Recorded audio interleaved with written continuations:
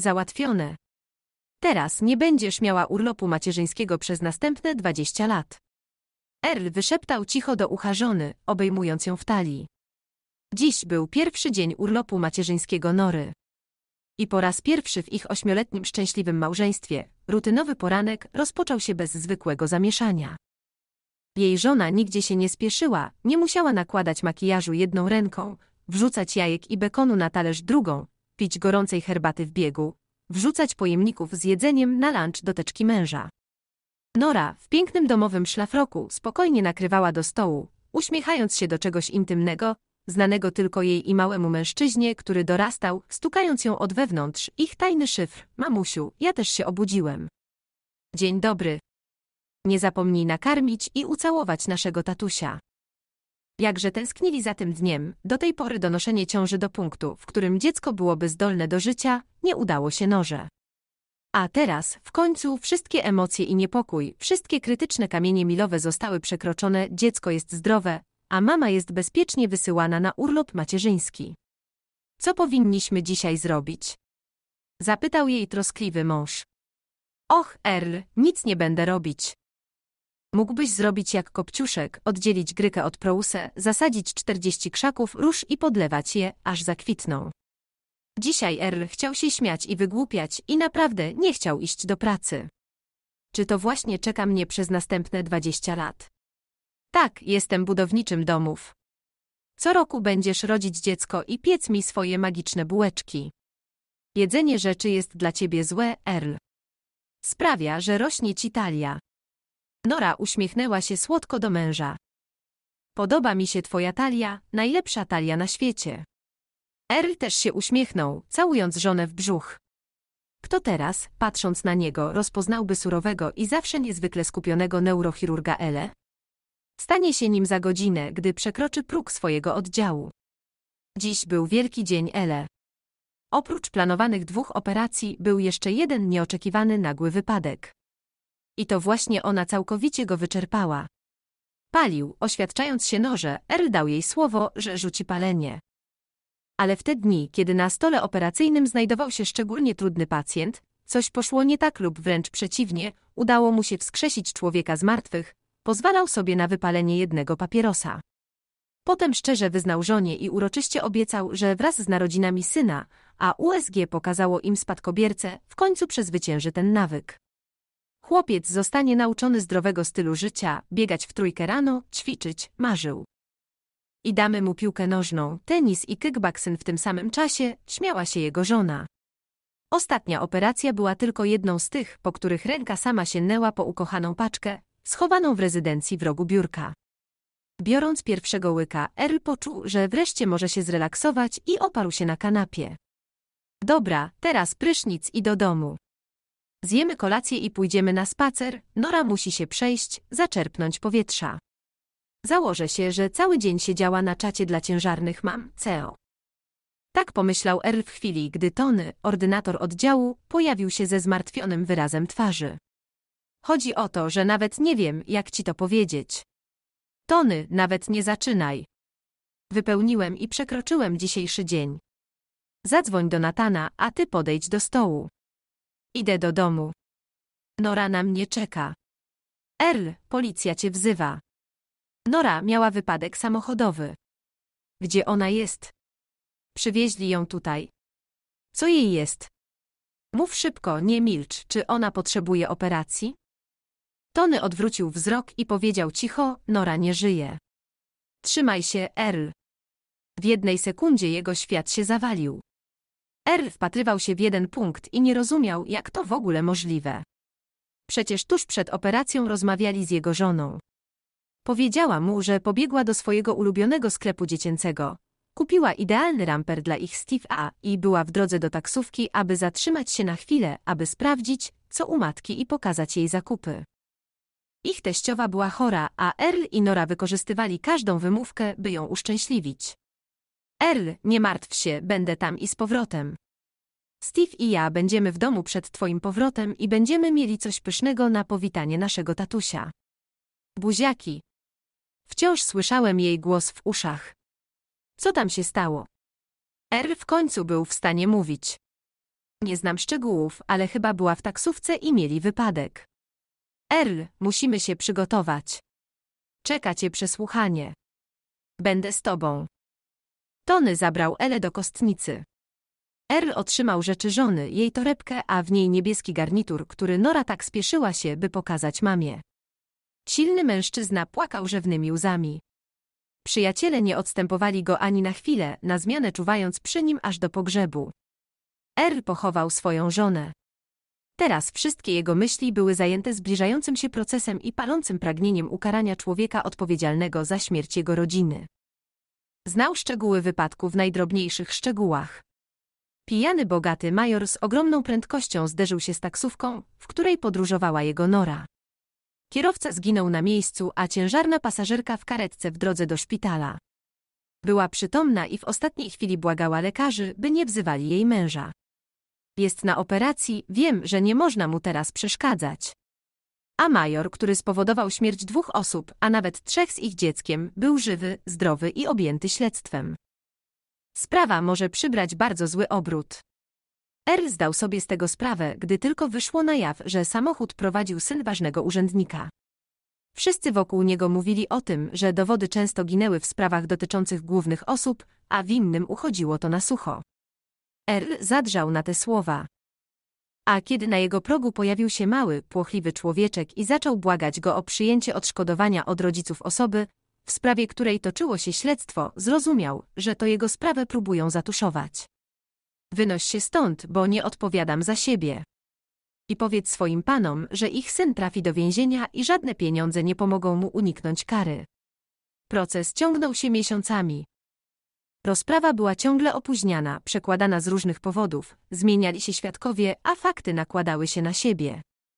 Earl z przerażeniem patrzył, jak winę za wszystko zrzuca się na martwego taksówkarza.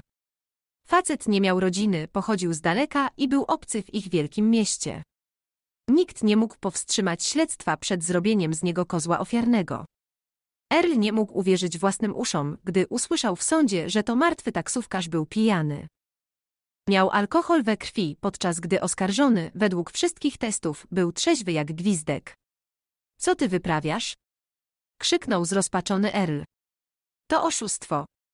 Od początku było dokładnie odwrotnie. Widziałem nagranie z monitoringu. Ten palent zataczał się, kiedy go aresztowali. Spójrz na jego bezczelną minę, siedzi tam i się uśmiecha. Chcesz go uniewinnić. W takim razie sam uduszę tego drania.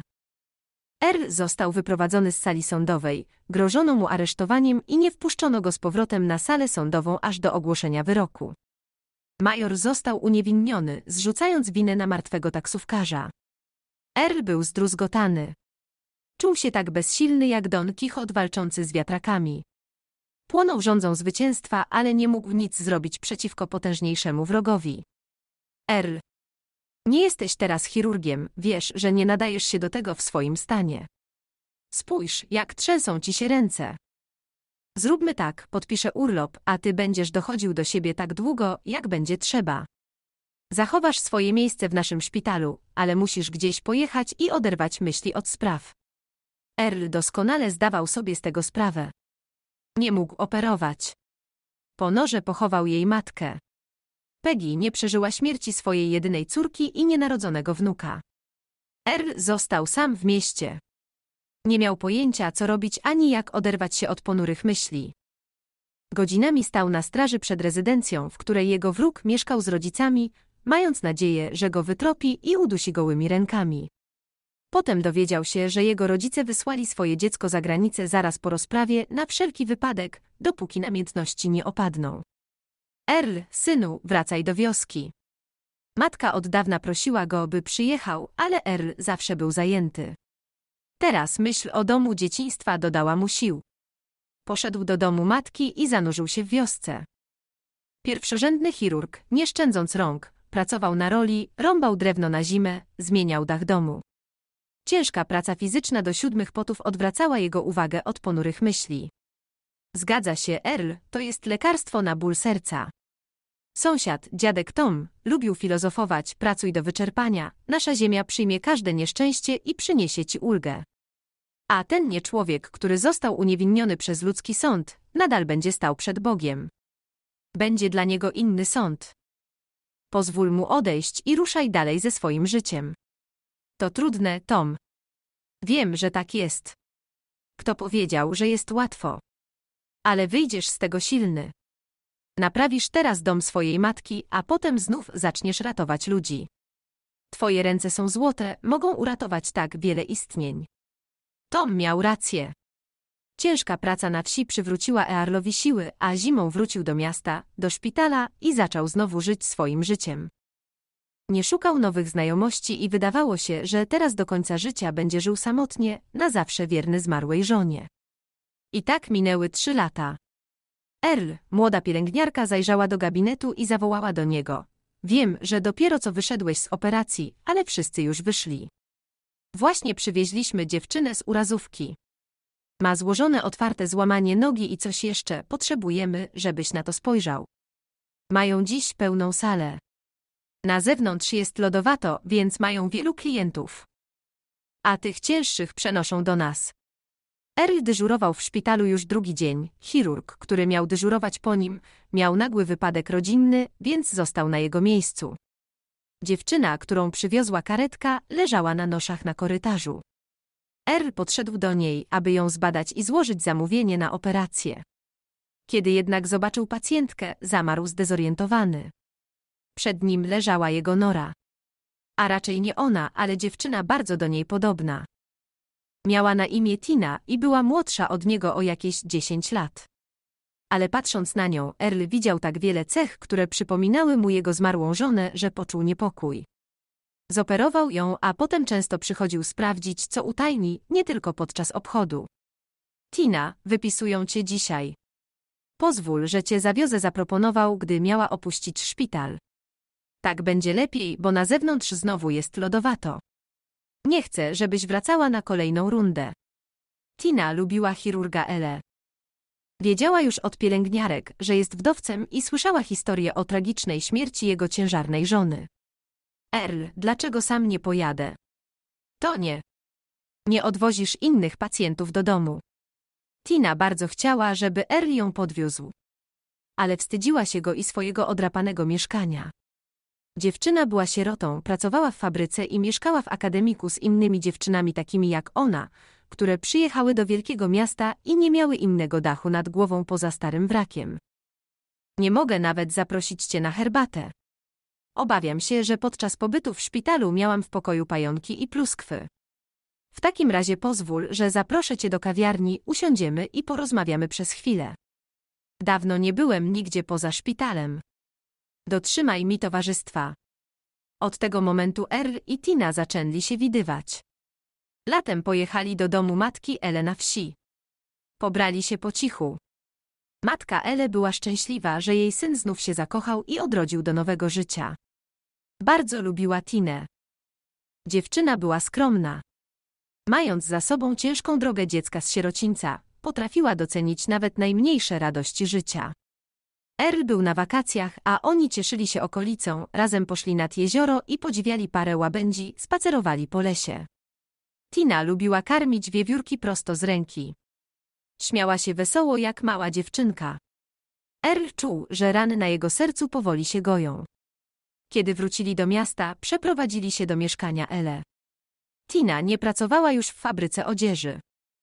Earl nalegał, by poszła do szkoły, a dziewczyna pilnie przygotowywała się do wstąpienia do Instytutu Pedagogicznego. Od dzieciństwa marzyła o pracy nauczycielki w szkole podstawowej, a teraz jej mąż mógł dać jej szansę na spełnienie tego marzenia.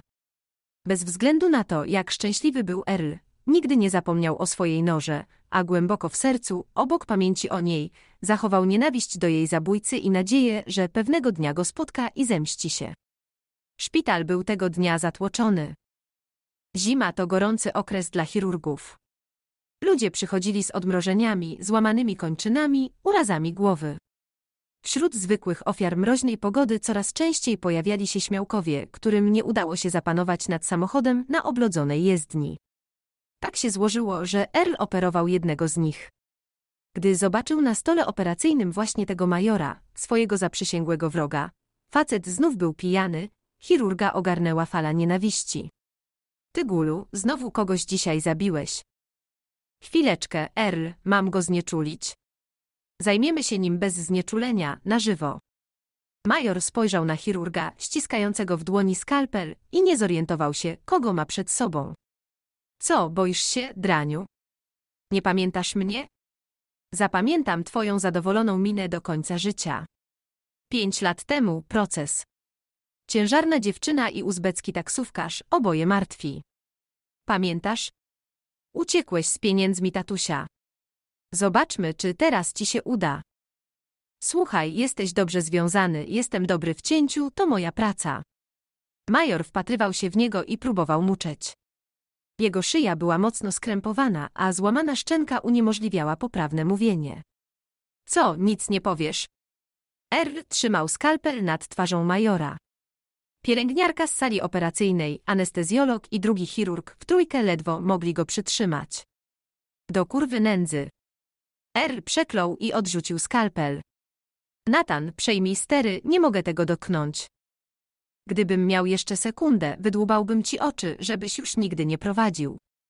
Nie chcę pobrudzić sobie rąk i zawieść ludzi, na których mi zależy. Natan wyprowadził Ele z sali operacyjnej i poprosił pielęgniarkę o środek uspokajający. Wszyscy zdali sobie sprawę, że Earl nie może przebywać w pobliżu zabójcy swojej żony. Koledzy wezwali taksówkę i odesłali go do domu. Siedząc w samochodzie, Earl wpatrywał się pustym wzrokiem w ośnieżony krajobraz zimowego miasta. Wydarzenia sprzed pięciu lat powróciły do niego z nową energią. Na próżno myślał, że udało mu się uwolnić od bólu. Znowu powrócił, a wszystko, co teraz istniało w jego życiu, stało się nieistotne. Earl, co ty dzisiaj robisz tak wcześnie? Głos tajni wyrwał go z transu. Czy coś się stało? Właśnie wróciła z instytutu i nie miała czasu zrobić mężowi obiadu. Earl przeszedł cicho przez kuchnię i usiadł na krześle. Co się stało? Żona była zaniepokojona. Czy ktoś na ciebie umarł? Sam chciałem dziś kogoś zabić. To prawda, to nie była osoba, ale ktoś, kto tylko wyglądał jak osoba. To był ten sam major, który zrujnował Norę. Tina spojrzała na męża i zobaczyła, że dosłownie umiera na jej oczach. Posłuchaj mnie. Zdaję sobie sprawę, że to może być zły moment na przekazywanie ci wiadomości, ale myślę, że musisz teraz usłyszeć coś dobrego. Spójrz na mnie. Dobrze mnie słyszysz. R uniósł twarz i spojrzał uważnie na Tinę. Spodziewam się dziecka, będziesz tatusiem. Earl wydawał się być wyrwany z bagna swoich ponurych myśli. Tina, jesteś pewna? Tak, byłam dziś u lekarza i on to potwierdził. Spójrz na to, to pierwsze zdjęcie naszego dziecka. Tina podała mu ekran ultrasonografu. Tina, uratowałaś mnie. Earl był tak przejęty, że wszystkie jego negatywne myśli zamieniły się w radość, wywołując prawdziwą burzę uniesień. Podniósł Tinę w ramiona i utrzymując jej ciężar, przytulił ją mocno do siebie. Ostrożnie zaśmiała się dziewczyna. Zaraz mnie zmiażdżysz. R był całkowicie pochłonięty wiadomością o zbliżającym się ojcostwie.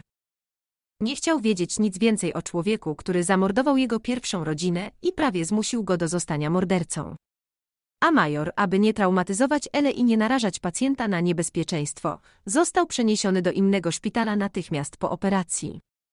Teraz Earl myślał tylko o Tajni i ich przyszłym dziecku. Starał się jak najmniej przebywać w pracy i sprawiać jej miłe niespodzianki. Długo oczekiwane dziecko urodziło się wczesną jesienią. Był to uroczy chłopczyk z takim samym niesfornym łoczkiem na głowie, jaki miał Earl. Dziecko otrzymało imię Will. Szczęśliwy ojciec nie mógł się nacieszyć swoim synem. Kilka miesięcy później szef działu wezwał go do swojego biura. Na stole w biurze Tony'ego stał drogi koniak, a obok niego dwa kieliszki. Chwileczkę, Tony, wciąż jestem na służbie. Jeśli mamy świętować, to po pracy. Usiądź, Earl zaproponował nadinspektor po przyjacielsku. Zakładam, że nie oglądałeś jeszcze wieczornych wiadomości. Kiedy skończyłem operację. No to słuchaj, mam dla ciebie wiadomość. Drań, który zabił twoją norę, został w końcu ukarany. To było w wiadomościach, rozbił się na śmierć. Daj spokój. Jesteś pewien, że to on. Jestem pewien. To znaczy, był synem ważniaka. Było z tym dużo zamieszania. Ścigał się nocą z kumplami, uderzył w betonowy płot i zginął na miejscu. Więc napijemy się z tobą. Nie martw się, już zadzwoniłem do Harego, żeby cię zastąpił.